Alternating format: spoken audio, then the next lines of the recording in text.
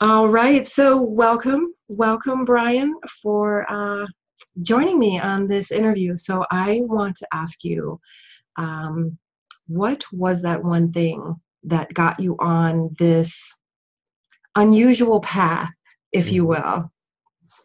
Well, I'd have to say there's not one thing. Uh, there's definitely a string of things that occurred going all the way back uh, to when I was a kid. I would start meditating and experimenting with consciousness and things like that. The, the, the secret with the movie was a big deal, even though I had read a lot of stuff about it. It really encap, encapsulated a lot of ideas and, and made me kind of look around at my world that I had created and start to take responsibility for it. Uh, but it's easy when you go through these spiritual paths to forget about things and things change. And so, after raising my kids and having my family, uh, just uh, there was a huge event that happened, and I lost the the girl that I loved, and and my family. They had they had moved to another place, and it, and it didn't work out. And I was really in a tough spot. My business was struggling. I was drinking heavily and there was a part of me that wanted to give up that wanted to go jump off that building or just end it because i couldn't take the the the pain of it and and i knew from my past that i needed to probably meditate and i needed to take control of of of my consciousness understand it so i went through this path where i started meditating heavily and looking into it as much as i could and i had a huge Well, I want to ask you something, if you don't Yeah, mind.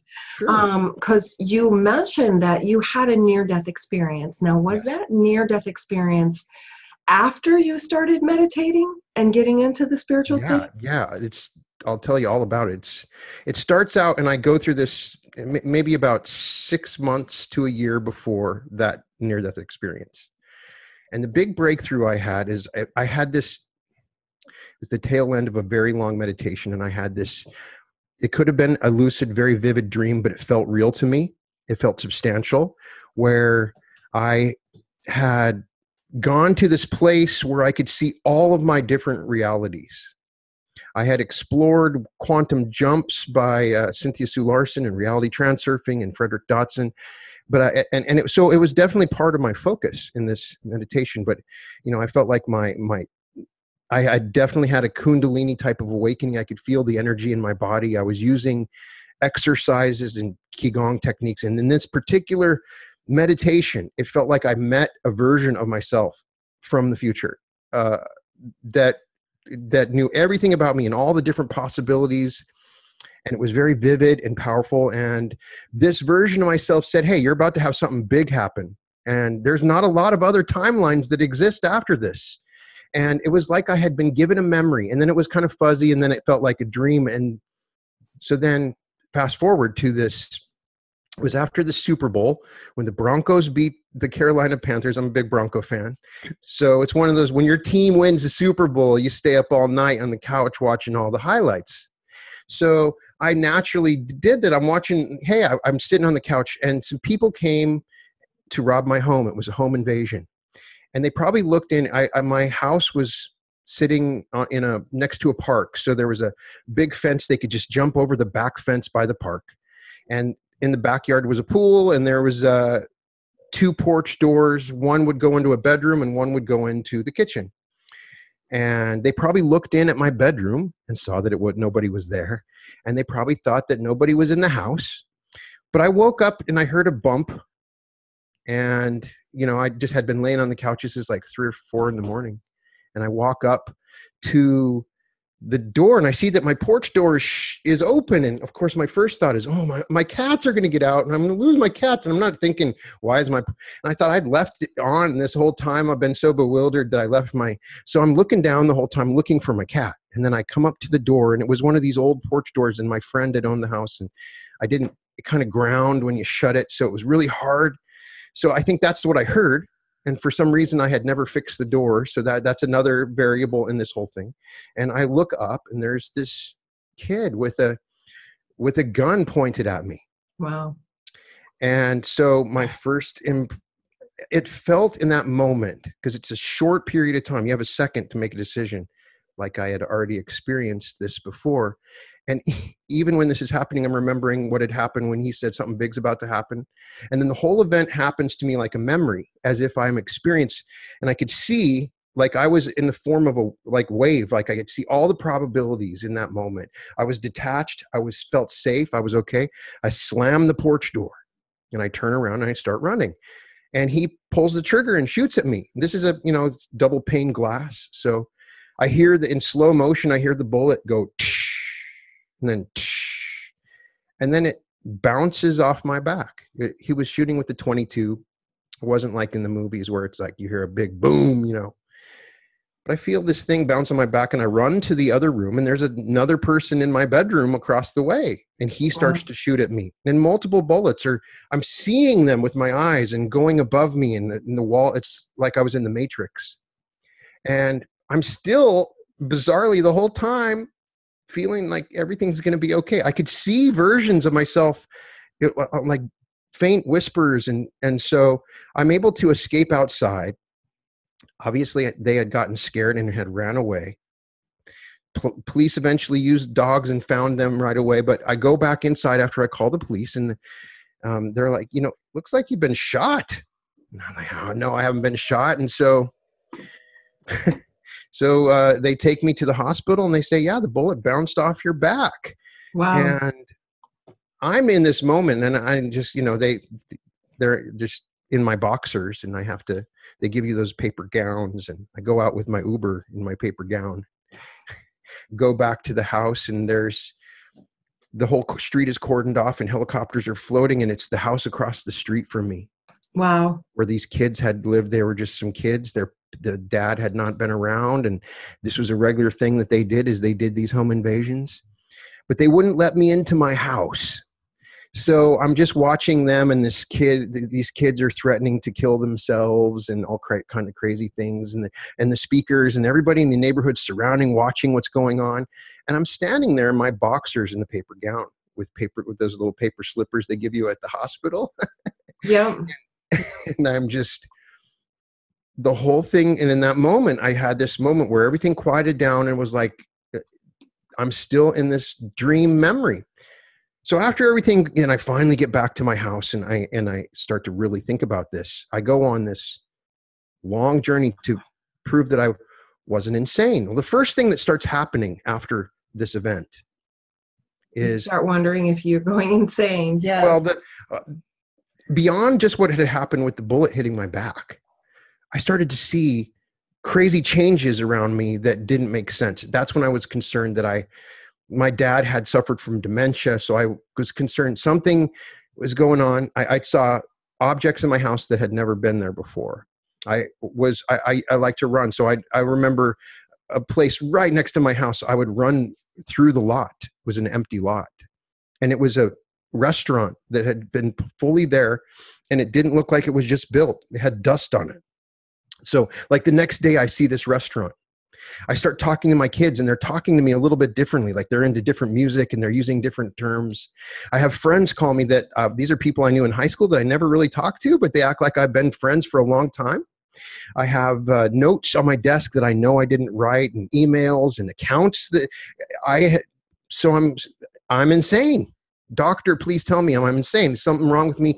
Do a scan. Everything's okay. Something's wrong with me. And so I started to suspect that I had ex- I had because of the extremeness of this, maybe I had gone into a parallel reality or jumped, or that my reality had shifted, and I went on this huge journey to try to find out what had happened, trying de- sensory deprivation tanks and every machine possible.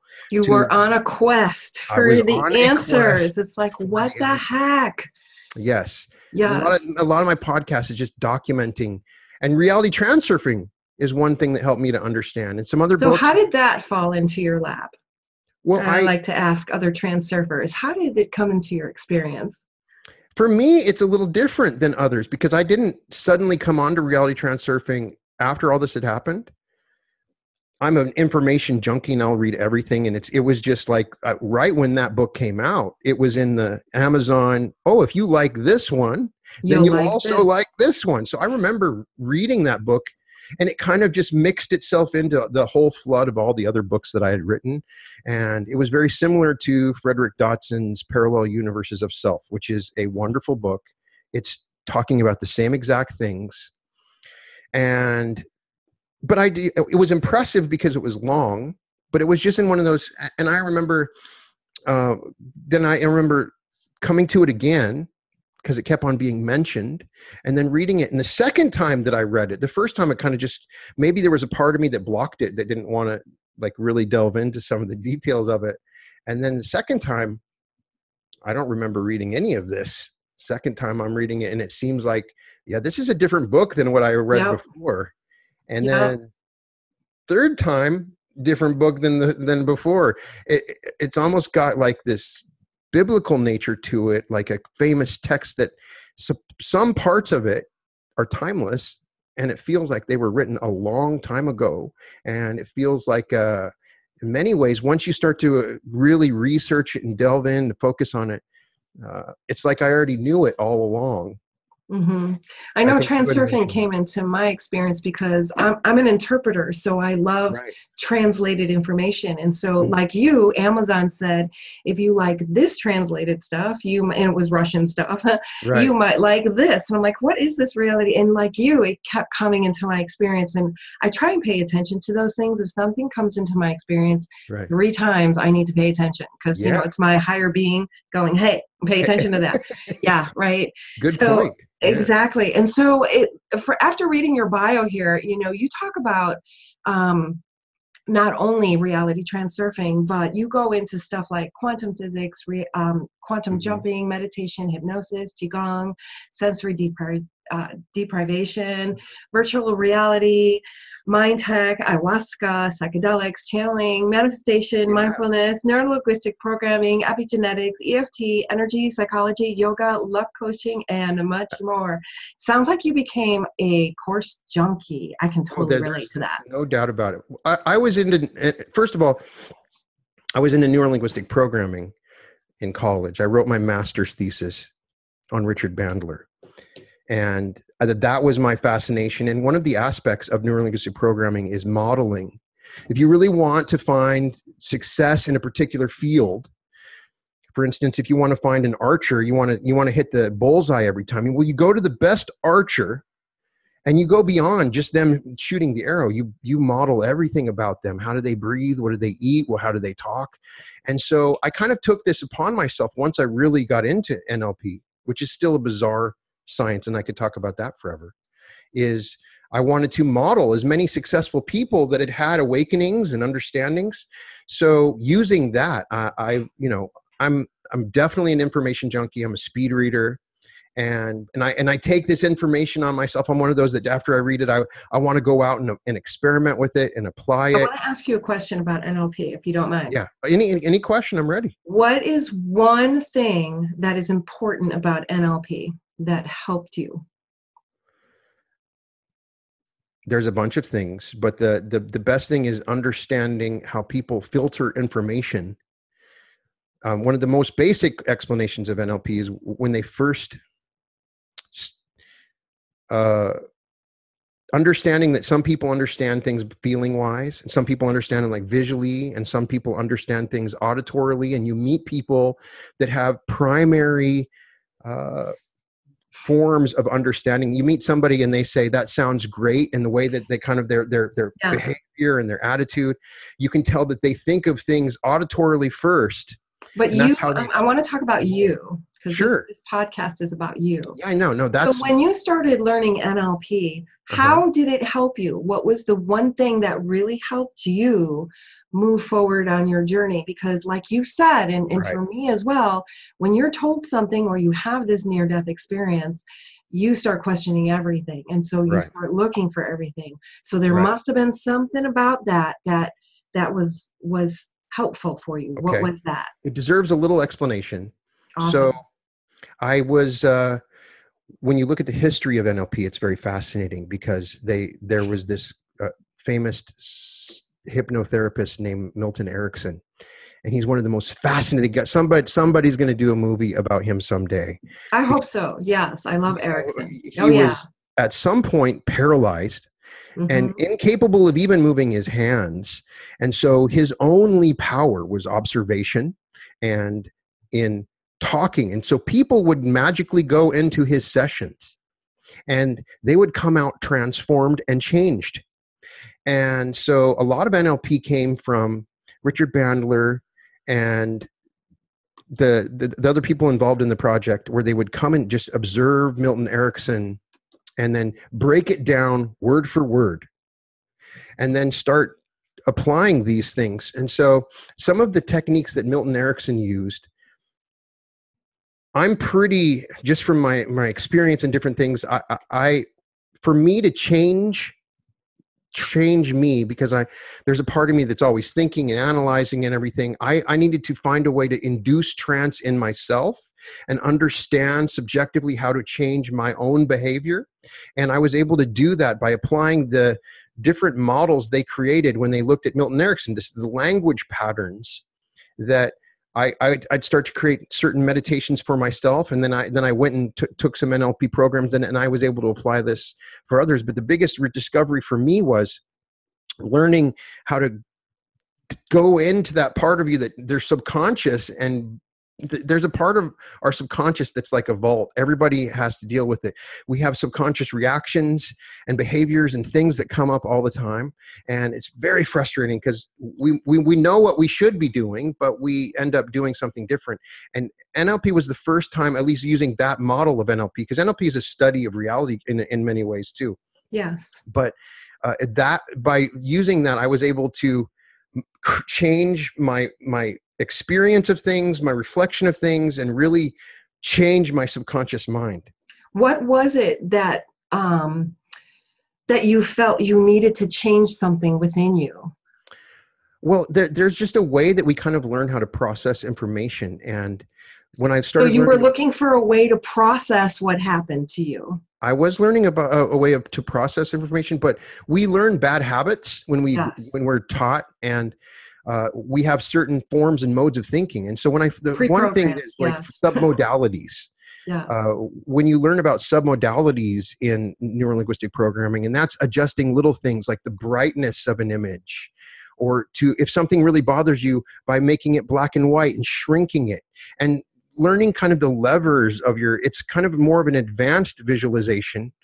Uh, one of the interesting aspects of NLP is linking eye movements to the way that your brain works. Mm-hmm. So you can, you know, if you look, if the, and people use this when they try to see if you're lying. Uh, and in the FBI, they use some of the NLP models to look at your eye movements. If you, um, depending on your, if you're left or right-handed, when you look up, you're generally looking at a visual memory or looking at a visual creation that you're creating. If you look up and to the left or to the right, if you look over, you're you're looking at your auditory memory or you're creating an auditory memory. And then if you look down, you're accessing feelings. You can even access taste. You can see by it's almost like our eyes are like a joystick, and you can uh, see how somebody kind of is taking in the information by the way that they move their eyes. So I started proactively applying this in my meditation. So if I, I want to bring up a mem- memory, I might look up and to the right or, or if I might um, want to bring up sounds or feelings, and I would start enhancing my visualizations. And I started to change my memories, and I started to enhance my future. All kinds of little techniques and tools and things that enhanced my ability to do a lot of the things that I was trying to do at the time. If that's the best explanation, it's a little complicated, but that's for me personally. That's the things that really changed me. The model, oh, yeah the modeling, the uh, the the submodalities, and understanding eye movements and all that stuff. There's a lot more to it, but th- th- those are the things that really helped me. So you do um, talk a little bit about in your bio um, that you just mention ayahuasca and psychedelics. Um, is that something you like to talk about, or is that something that you yourself have used on your journey? I can talk about it. It's kind of weird. I have two kids. So it's always, are my kids going to watch this? Because I don't know if I want to talk about my LSD and ayahuasca experiences. Well, I guess kids don't do it. Okay it's one of those things that you want to wait until you're older uh, and i have had this is an adult channel so no kids will be listening. So it's it, i was you know I, I haven't really dedicated an episode of the reality revolution. I was interviewed on another and i've i've tried ayahuasca once. I've had many lsd experiences. I do believe that certain psychedelics can be a window into the soul and can be a method of awakening definitely not to depend on it's temporary but it, it gives you this vision that you realize it's there. It's beyond just your mind you realize it's there. And a lot of people if you trace back their awakenings they uh, in many cases it, some kind of psychedelic is what pushed them forward to explore more. I would say that there are people i meet that become dependent on these modes and they end up not having the spiritual fulfillment they, they truly want because of the dependence. You can reach these states and um, levels of understanding and awakening outside of psychedelics. That being said the research is fascinating. The stuff that i've experienced is beyond incredible. Yeah. My brain is very creative. If it is if, if some of this stuff isn't real um, it's beyond incredible. I believe that I've seen the beginning and end of the of the universe and God and the devil and angels and all kinds of crazy things. I've met the the elves that they always talk about, and I've seen these things. Uh, and it was very transformative. It's a transformative experience. When your ego dies, and it's so profound, the feeling, the visuals. There's it's very powerful. And so I haven't really dedicated an episode to that. I do, when I talk about the reality revolution, I do think that we are starting to understand that psychedelics are not just a party drug, that they are profound ways to explore your spirituality when done in safe settings, especially with people that are experienced in those particular modes. Agreed. Especially, you know, ayahuasca. It's it's an indigenous sacred medicine, and um, I personally, I would love to talk to you about it because I've personally, yeah. I worked with a shaman. Oh, um, oh. I I experienced trauma from like ages 14 to 16, uh, yeah. ages four to 16. Um, so I over the years I uh, worked with this shaman, and uh, we did.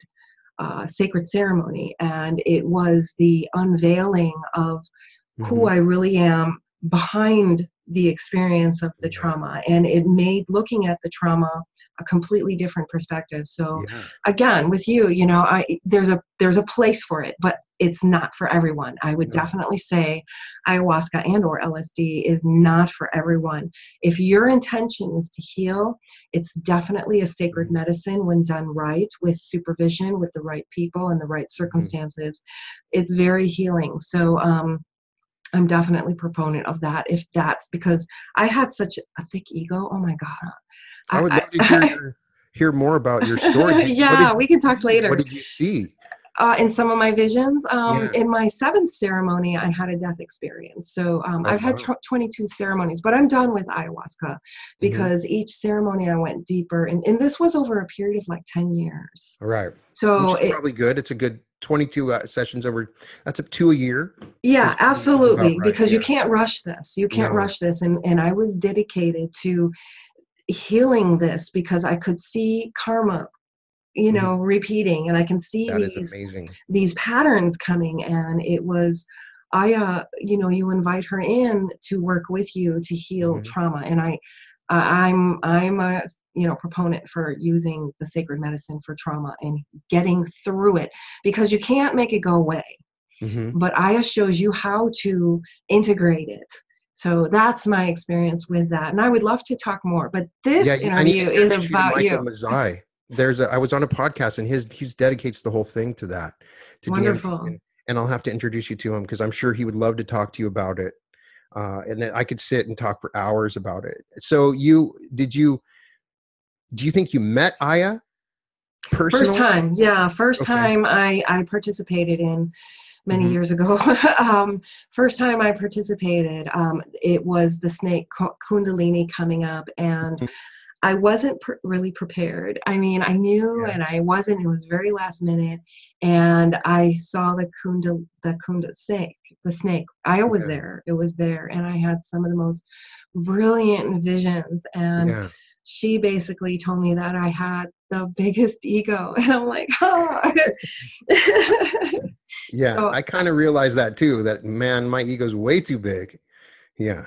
Yeah, so we've been working on that. And, you know, my ego was a facade, or, you know, whenever she comes back out, you know, she's a facade to hide Mhm. the real traumatized, you know, and the real reactive and the little girl that's hiding, you know, and waiting for something bad to happen, you know, kind of thing. Mhm. So she kind of like huh, exposed that. No, this is, we got to show you, this is, you got to be your authentic you. There's no more hiding behind anything. So, anyway, um, back to you, Brian. Yeah, So. I know that uh, you you mentioned that you had kids. How old are your kids? 13 and 16. Awesome. Mine are 25 and 31. Oh, wow. Yeah, two boys. Two boys, and I've done me, ceremonies. so yeah. I've done ceremonies with them. Oh, wow. No, that I don't. I don't think I'm going to do that. But um, it was weird first w- time, w- but then you see You're a this- mother figure to them, so there's an archetype with you. You become an archetype in the ceremony at the same time. Kind of. Am I right? Because you're well, it definitely changed our relationship. Yeah, Yeah. definitely. Well, they were adults, you know. It's Right, right. it's like, well, that. they're like, "Where are you going this weekend, mom?" Well, um and so yeah, I mean, when you when you journey on this with loved ones, it's it's it's a deepening, very Right. deep healing experience. So anyway, back to you. Um you have a podcast called The Reality Revolution, and you talked a little bit about this. Can you tell us what this podcast is about? Well, it says it in the title. It's it's about the reality revolution. what Uh, is this revolution? Tell well, us about this revolution. if you watch you know youtube on facebook if you just go into different boards there's definitely something going on right now if you look at what's happening in the world in many ways we see in, in your own personal experience have you noticed that your thoughts manifest much faster than five years ago or 10 years ago? We're in i believe we're in this period where our reality is being manifest faster and faster. Placebo effect. Well they can't do research on on on medicines anymore because the placebo effect is so strong as opposed in the past they can't even do this. And everybody and my friend is saying that they're going through an awakening and starting to become aware of these at the same time people that don't even know about this their fears are being realized we see on the news crazy stuff happening as if our own fears are being manifest just as quickly Yeah, And- I don't even watch the first 15 minutes of the news. I live in course not. Chicago. I don't even watch the news anymore, and I'm a I have one I have a degree in political science. you Right? know? so I, I, I it, the last election was tough for me because I definitely, you know, it was a learning experience. Uh, but, but I definitely believe that we are going through a period, and um, Laszlo talks in his book, uh, "The Quantum Brain." The, sh- the global shift in uh, the quantum shift in the global brain he makes a comment that we're going through a reality revolution that's the first time that i saw that and i and i love that idea if we're in a reality revolution somebody out there needs to to acknowledge it and say okay let's make it let's make this positive. Let's change and get away from our fears and embrace love. And so that the, the primary intention of uh, is is through meditations and knowledge and interviews people that are awakening to come into touch with this new reality revolution that's happening. And that's basically the pod it's we cover and i i I, my joy is to do meditations and and to learn about this stuff and so that's basically what it's about yeah Very cool. Yeah, I know for me, um, the reality of Facebook, and I would be like, no Facebook, no Facebook, you know, really resistant to it until it's like, you know what, I can do some good. And so I discovered how to change up my feed to only see what I wanted to see and not have Facebook show me things.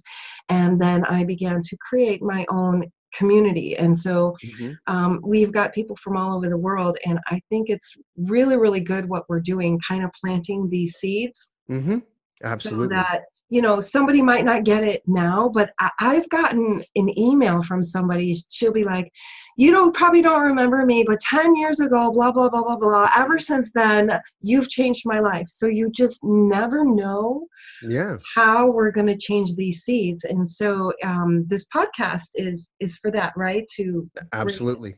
We're like johnny appleseed johnny reality seed going around just planting these seeds. Maybe someday somebody will see this interview and when we just just acknowledge the fact that hey we're creating our reality and the media and music everywhere around you is trying to scare you. So give me an example because I have people tell me that's just bullshit. You don't create your reality. What does it mean when you say you are creating your own reality? What does that mean? Uh, it means many things. First of all, your thoughts end up being reflected as your reality around you. Look around, whoever's listening to this, look around the room that you're in now, and you're in vibrational alignment with everything there. You may not agree it, but it, you have agreed on some level to have all of this stuff that you see in your space. You created that reality. That wasn't some magical thing. You went and got those objects and put them in there. You may not have the, but you're in vibrational reality. When you start walking around your house, looking at the job that you have, looking at your the people that you're hanging out with, all of that on some level you consciously, vibrationally agreed with if you go back and look at your whole life, if you were to analyze your thought patterns, period, the thought patterns prior to that, you would see that your life is just a reflection of your thoughts and actions in that previous period of time. I challenge anybody that's listening or watching this to look around at your current situation and say that it's not your fault. I promise you, on some level, we can figure out that it is your thoughts that created and put you in this reality. Uh, and and that's a big that, that's really tough for a lot of people. Yeah, I think the concept take, of cause and effect. Yeah, you know, they see their external world and they point, well, that's bad, that's bad, that's bad, but mm-hmm. it's the end result. The beginning exactly. comes from here, and exactly. you are the beginning result. What comes from here out, exactly. and we only look at what's already been projected, mm-hmm. and what's already been projected are thoughts that we've had in the past in the past yeah not right now right so we change our thought right now we start to change this mm-hmm. future mm-hmm. so that's I, I, love that you know when, yeah. when when then you can say okay well you know i do kind of blame and i depend you know I, I was working with somebody and every every day her mood depended on what the weather was right it was sunny she was in a good mood if it was cloudy and rainy now we live in chicago you know it's like weather sucks here, except maybe five days a year we get a nice right. day. So you can imagine almost every single time it's like, oh, the weather's bad and it's making me a bad mood. And I'm like, can you decide to be happy on a rainy day? Mm-hmm. And it kind of threw her for a loop like, can I? And it took a while yeah. to kind of get down and get into it, that neuro linguistic programming yeah. kind of thing where you kind of shock them out of their their mm-hmm. habits kind of thing. Right, right. So that's wonderful.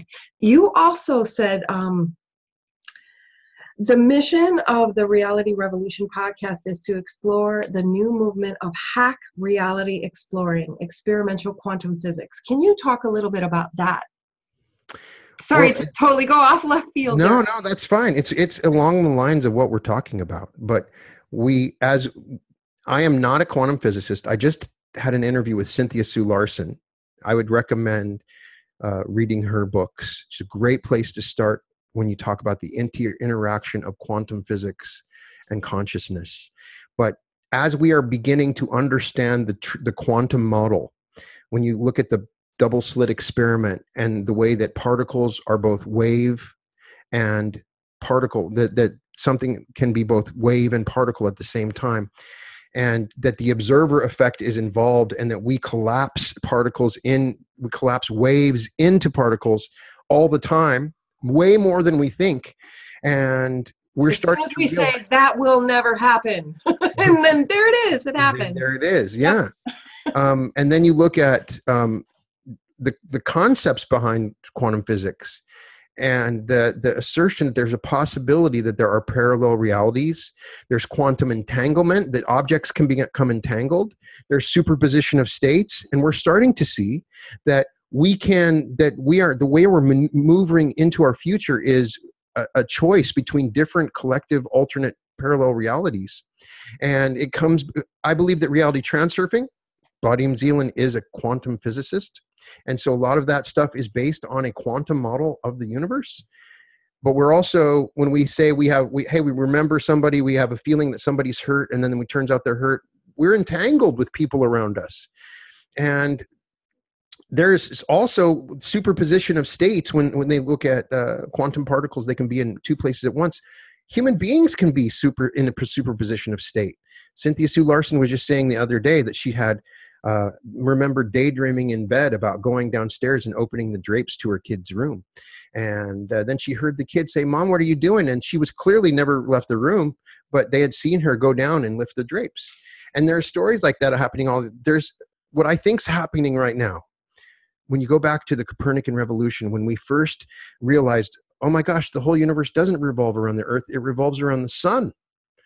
And uh, can you imagine back then the shift in thinking? I mean, it, it maybe doesn't affect that much, but what you thought was going on is not. And so I think we're going to start to come into a, a an age, a, a, a new reality where we start to realize that we create reality and all of these quantum um, uh, these understandings coming from quantum physics can be used to affect how we maneuver through our future and make decisions and all kinds of things. It's totally fascinating. It ha- if it happens in the universe, it happens in our universe. Exactly. Because we are no different. Mm-hmm. So if exactly. we, if like physics, you know, there's some there's unseen forces that you have to account for exactly. when you're making something. Well, when we make choices mm-hmm. against physics or with physics. We're either going with the flow or with resistance. So it, resistance, internal energetic resistance, is physics. Absolutely. Absolutely. And we don't Absolutely. see it like that. We think we're separate from nature mm-hmm. or we're separate from God or what have you. Right. All of these uh, things happen over there, but they don't happen here. Mm-hmm. So it's it's this newer uh, deeper connection that we're having. You use the word hack reality exploring. What do you mean by hack reality exploring? Well it's just like hacking a computer program getting in and changing the program. Um, maybe that's a word that's overused a lot but i like it because it's quick and it's easy to understand. So if you don't like the program that's running within your subconscious reality. hack it so hack, that you hack your reality, right?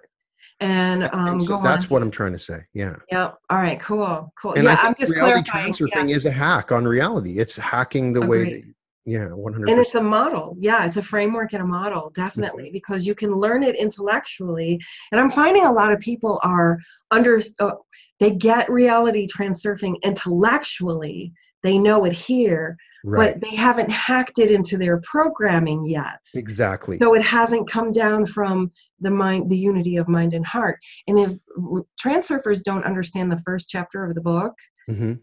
Uh, the rustle of the morning, of stars, the morning stars the rest of the book there it's just going to be knowledge that's and it. I found that too. What I've tried to do when I and uh, as I go in and um, I, I've tried to go into each chapter lately, and then I'll go over and read some of the excerpts and then talk about it. But then I'll have a meditation afterwards. And the whole concept is take what we learned and lock it into our be- everyday behavior in our program. That's what I'm finding with transurfing, like you said. It's easy to know all this stuff. Uh, uh, to be aware of importance or to be aware of coordinating intent and all these things and sometimes it's just all thought bubbles so what i'm trying to do with those meditation is program okay so like the one of the cool concepts is the wave of fortune like your friend had mentioned if she when she sees the sun and sunset uh, sunrise and she's happy in the morning isn't it interesting that those days a bunch of other cool things end up happening? And it's like when you make that judgment that something's great you radiate this positive energy out and then all of a sudden that energy says oh well there's these cool things that are going to start happening in that general frequency of your energy. So it's such a simple idea. I'm going to start look for something in the morning that i'm going to get super excited about because we've all had that moment when we stub our toe when we wake up and then next thing you know that that we we burn our hand on the stove and the tire goes flat and some you know there's a bill that comes in that we didn't pay. I mean there's always these waves that happen that they're inter inter coordinated but when i'm t- telling somebody about that oh that just sounds like wave of fortune a cliche. So in many ways i agree with you. You have to we have to go to the next step and program this stuff into our thinking and so I'm trying to use the NLP that I discussed with the reality transurfing and kind of merge those together. And maybe if, people can take it, it'll it'll help them because it is. You have to constantly shift and remember, oh yeah, this is how it works. I can't think like that. And you're always going to still make mistakes. You're going to say and think the wrong things because we're so reactive for so long that we're locked into all these programs. And it's not easy to sit, suddenly wake up and change how you think. So, yeah, Exactly. And how I learned it, um, I, I, did study quantum physics, and uh, I, am not a quantum physicist, but right. I'm a closet geek. But um, exactly like with me. with quantum physics and the study of the brain, there is actually a system in the brain um, called the reticular activating system. Yes. And so when I think I would love to see dragonflies today, and I, and then I just feel it I know it, and mm-hmm. it's very possible. And then I send, I call them quarks. I mm-hmm. send my quarks out or you know and they go looking for dragonflies to bring exactly. them to my experience. But the thing is is i don't hold it all day long. Okay where's the dragonflies? Where are they? I should be seeing them by exactly. now no i just have a loving thought. It would be so lovely to see dragonflies. Yes. And then i go off on my business and then boom there they are. There's this is quantum physics. Yes. and I, I knew it intellectually. I knew quantum physics. But until i played with it and then I integrated and then I experienced it. This is when I really made the connection of how powerful we are. Exactly. And so you talk about manifestation and channeling. I like to say I have these conversations with Einstein. Yeah. I used to think I was going crazy, but then I no, met you're another. Not, no. I, yeah, I, I met Dr. Levine, and he talked about how uh, in the 1970s he would meet at this restaurant with Einstein and have soup with him. Oh, I'm wow. like, oh my God, I'm not the only one having these conversations with Einstein. So, um, you know, because you talk about channeling uh, uh mm-hmm. uh, in your uh, bio as well. Absolutely. There is just so much out there. But what would you say is on on your spiritual journey, um, having a near death experience? What would you say was the one thing that kept you here? That's the only thing I can think of to say. Ah, that's a good question. I wasn't expecting what kept me here. You know, the the biggest thing that I would love to share. I try, I've tried to do it on a few episodes. Uh, after I had gone through this experience, and you hear about it with a lot of people that go on a similar experience. When you when you realize how short life is, because I should be dead right now, and the feeling that I got afterwards, wow, I have a second chance I was given a second chance. And so every breath, everything, even bad things, are wonderful. Every single thing that I do after that point, and I would love. To, I've, I have an episode uh, speaking from your future self, um, and I and I'm trying to to I would love to for people not to go through a near death experience to have this feeling because it transformed me and it changed my life and that's it was a great thing I, this I'm so glad that it happened to me I could be as scared and afraid of who's going to come into my yard, but it gave me an in essence, hey, my life could end tomorrow, and I need to earn my second chance, and I need to embrace every moment. It became I became way more mindful, and that's the thing.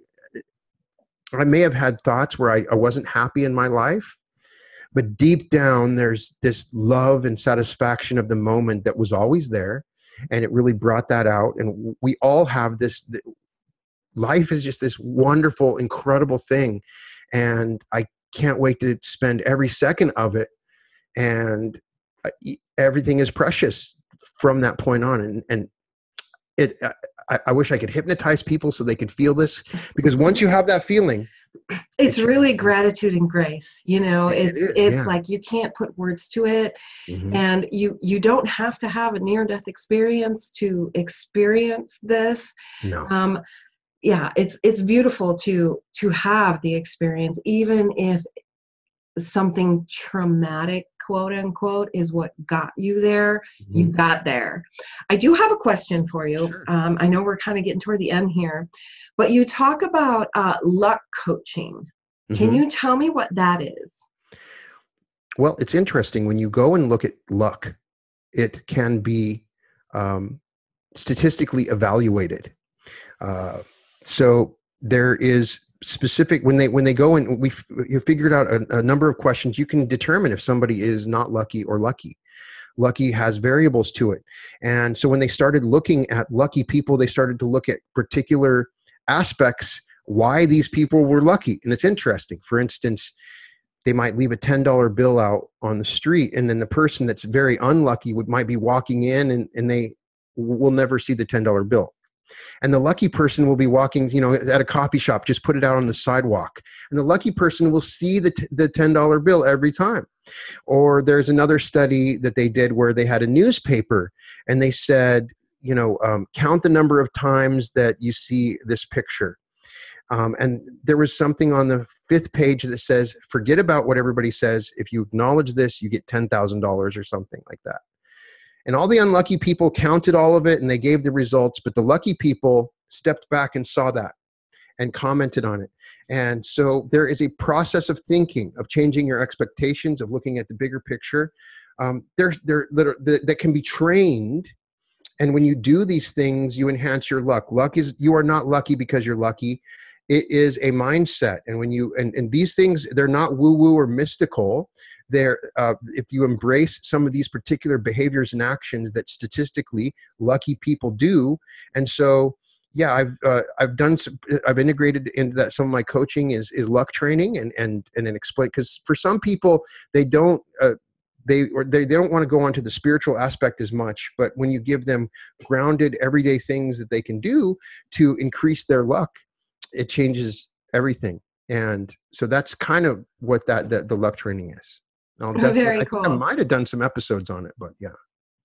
Very cool. Luck luck training how how to be a magnet for luck i definitely would be one one to one die training now you know when right. people are lucky you look at them and they always have common characteristics yeah. most of them are outgoing they have networks of people that they talk to they put themselves in a situation where it's easy for luck to happen that's the people expect luck to happen and you're not going to get lucky just staying in your house and never leaving not communicating with anybody and seeing the world as a small tiny thing.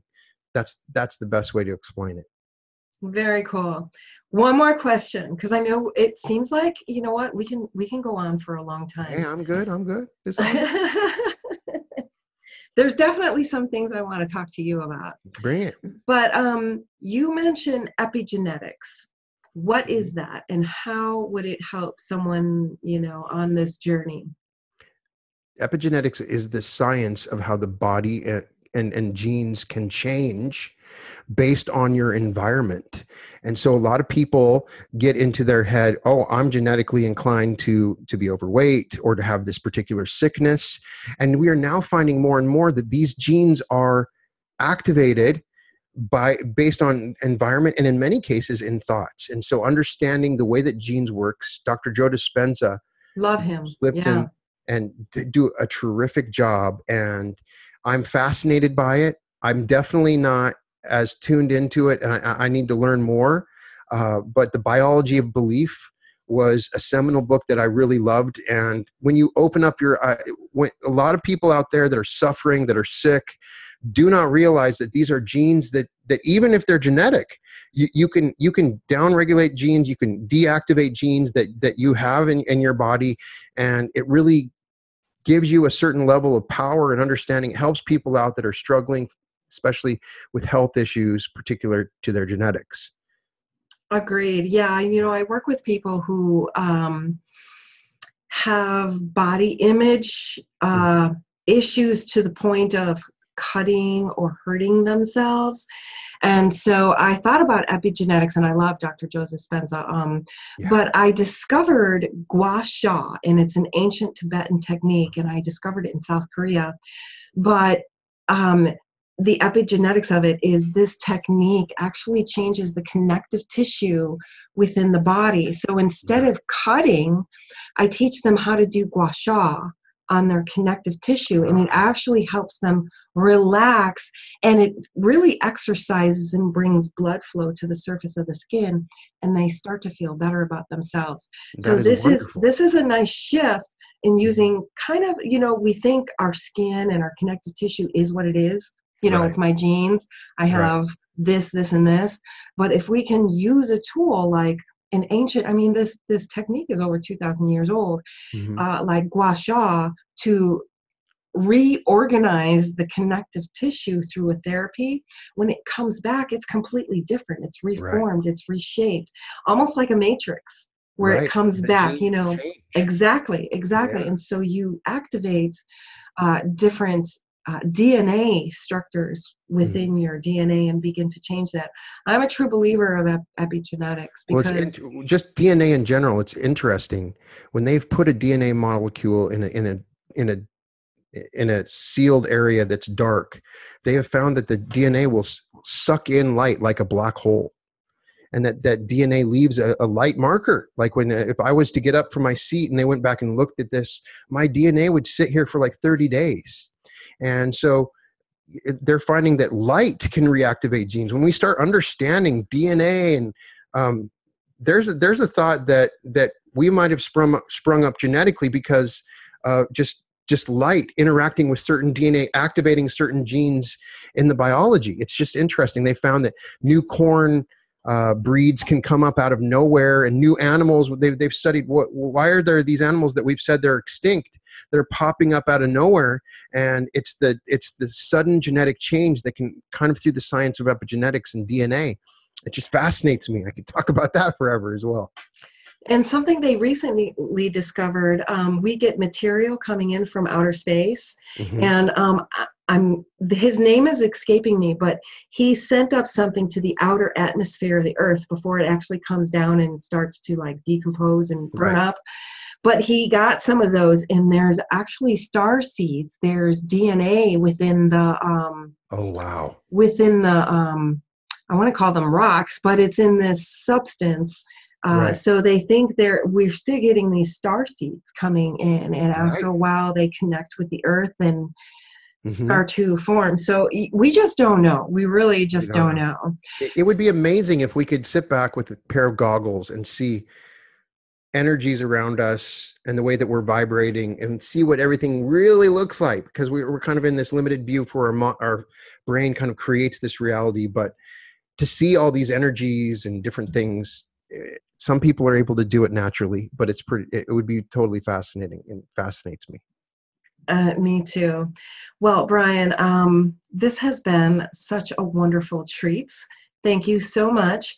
You mentioned that you have a book coming out. Can you tell us about that?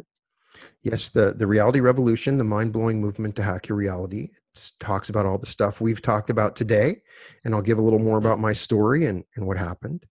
And uh, yeah, I'm excited. It should come out maybe in September or October. Awesome. Very cool. Keep me posted because um, sure. um, I can update your uh, podcast page. Okay. I'll send, page. I'll send so, you a copy too. Very, sure. very cool. Thank you. Thank you so much for being with me. And um, I look forward to uh, collaborating more with you. For, for sure. Let's do it. And uh, look, I, I get to interview you tomorrow. Yay. So I'm looking forward to that. That'll be fun. So this was great. I really appreciate it. Thank you so much for having me on. Absolutely. All right.